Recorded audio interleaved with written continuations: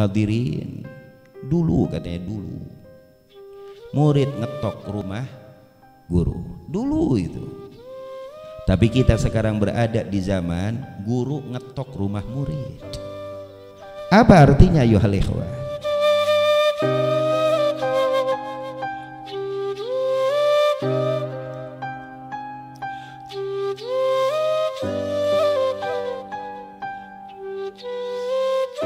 perkataan Habib Abu Bakar Al-Adni. Beliau menukil ucapan Al-Habib Abdul Qadir bin Ahmad As-Segaf Jeddah Al-Kutub 2004 lalu meninggal. Beliau berkata hadirin dulu katanya dulu murid ngetok rumah guru dulu itu. Tapi kita sekarang berada di zaman guru ngetok rumah murid apa artinya yuhal ikhwan beda hari beda keadaan apalagi beda zaman pastilah keadaan lebih rumit. Dulu seorang murid yang mengetuk rumah guru kadang ditemui atau tidak ditemui. Tapi sekarang kita berada di akhir zaman keadaan sudah berbeda jiwa sudah mulai berbeda.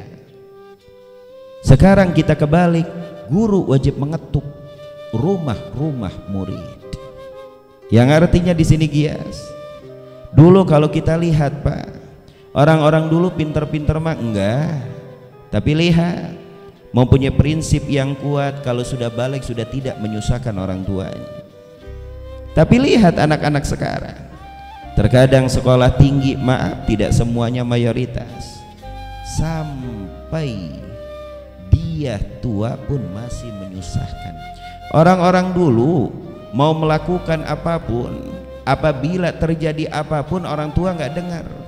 Tapi anak-anak sekarang berapa banyak dari mereka walaupun sudah dewasa menghancurkan kehormatan kedua orang tuanya bahkan keluarga besar ini bukan tragedi atau cerita guyon tapi ini fakta yang anda lihat dari media kayak sekarang sudah luar biasa apa pun anda bisa dengar dalam jangkauan semenit dua menit ayuhal ikhwan yang artinya genting. Maka di sini selaku orang tua wajib lebih getol lebih-lebih lagi untuk mendidik anaknya untuk mengenalkan kepada agama akidah yang soheh ajaran yang benar tujuan dan cita-cita yang besar. Itu mulai dari sekarang. Jangan sampai terlanjur maka kesedihan tangisan akan terus mengucur sampai akhir hayat kita dan sampai kita masuk liang kubur para hadirin